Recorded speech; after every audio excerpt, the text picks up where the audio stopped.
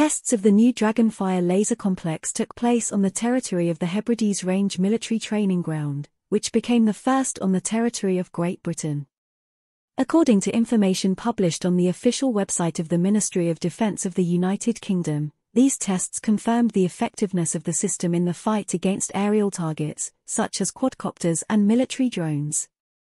The development of the Dragonfire laser complex is funded by the Ministry of Defense and is aimed at providing better capabilities in the destruction of air targets. According to priority plans, the complex is planned to be used on warships to optimize the destruction of small air targets. The maximum range of destruction of air targets is currently unknown. However, the developers report that the complex takes 10 seconds to destroy a quadcopter-type target.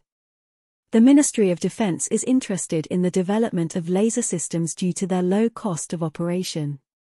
The cost of one shot of the Dragonfire complex is £10.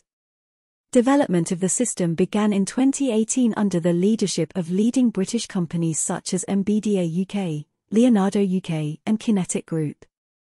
The Royal Navy is of particular interest in acquiring this type of complex due to its potentially better ability to destroy air targets in the direct line of sight and more economical cost compared to the launch of a guided missile.